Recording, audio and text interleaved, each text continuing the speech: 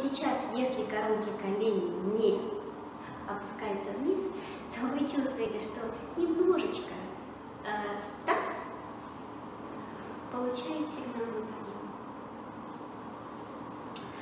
Значит, э, этот третий уровень горизонта помогает нам э, выходить на вот эту внутреннюю вертикаль. Ну и забегая немножко вперед, я скажу, что есть седьмой уровень горизонта, это локти. И вот локти, мы говорили на первой встрече о системе координат географических, широта, высота, долгота. Вот локти будут помогать нам с вами содержать, если мы эти локти слышим, фокальный угол, то есть объем нашего пространства.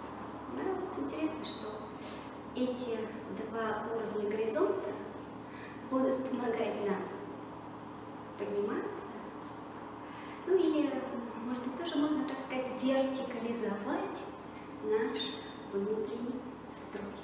Ну и так, коронки колена пружины нет. Я стараюсь опираться на пространство, не падать.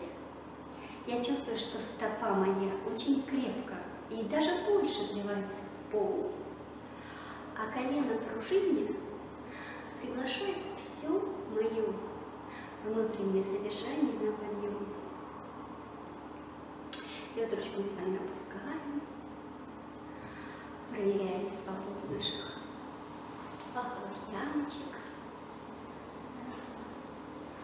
Пальчики поднимаем вверх, пяточку поднимаем вверх и стараемся и стараемся чувствовать, что вот от этой пружинной стопы мы получаем сигнал на подъем. Ну, как минимум